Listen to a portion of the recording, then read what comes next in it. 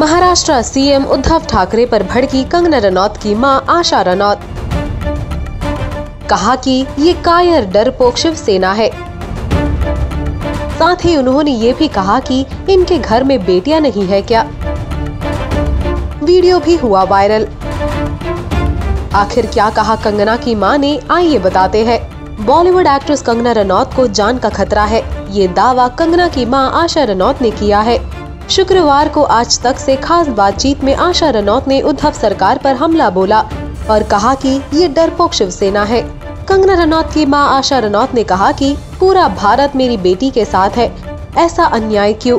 ये बाला साहेब ठाकरे की सेना नहीं है। वो डरपोक है, कायर है। हम उनकी तरह वंशवादी खानदानी नहीं है। कंगना ने पिछले पंद्रह सालों से पैसा कमाया है।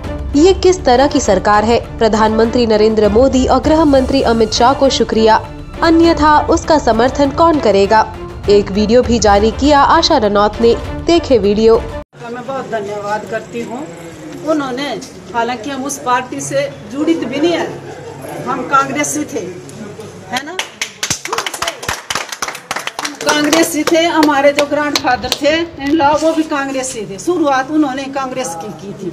लेकिन फिर भी हमें वहाँ से सपोर्ट मिली। है उनको सबको पता है कि हम शुरू से ही कांग्रेसी थे लेकिन फिर भी हमें सपोर्ट मिली किसकी? अमित शाह जी की जिन्होंने मेरी बेटी को सिक्योरिटी दी। और हाँ, मोदी जी का मैं बहुत धन्यवाद करती हूँ। है जिन्हें बोले कि मेरी बेटी देखो आज वहाँ पे क्या हुआ? अगर मेरी बेटी को सिक्योरिटी होती तो उसके साथ क्या नहीं होता? वेल इसके बाद आशा रनौत ने कहा, अगर कंगना गलत होती तो देश की जनता उसके साथ नहीं होती। कैसी सरकार है? मेरी बेटी उसकी प्रजा का एक अंग है। उसके साथ इतना अन्याय हुआ है। ये कैसी सरकार है? इसको सरकार बोलते हैं। सबने देखा है कि मेरी बेटी ने कैसे मेहनत से पैसे इकट्ठा किया है। उनके पास तो अपने माँ बाप की प्रॉपर्टी है, जिसके ऊपर वो इतना घमंड कर रहे हैं और अत्याचार कर रहे हैं। मेरी बेटी ने सच्चाई का साथ दिया है। पूरे भारत वर्ष मेरी बेटी के साथ खड़ा है और खड़ा रहेगा। इन लोगों का तो क्या पता ये क्या करते। इनका कोई विश्वास नहीं है। क्यों भाजपा सुरक्षा नहीं देती मेरी बेटी को? क्यों विपक्ष पार्टियाँ बोलती है? उन्हें क्या तकलीफ़ है? क्या उनके घर में बेटियाँ नहीं है?